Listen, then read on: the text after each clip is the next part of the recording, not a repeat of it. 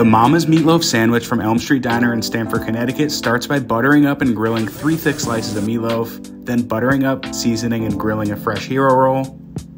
On goes some grilled onions, the meatloaf gets flipped, and it's time to build this beast.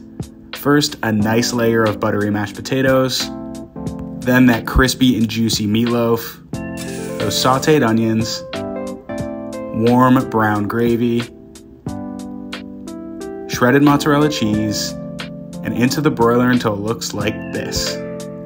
Another generous drizzle of the brown gravy, and everything gets topped with crispy fried onions. The sandwich gets sliced down the middle, plated, and another drizzle of gravy. They just added this sandwich to their menu, and I could not wait to devour it. Cheers.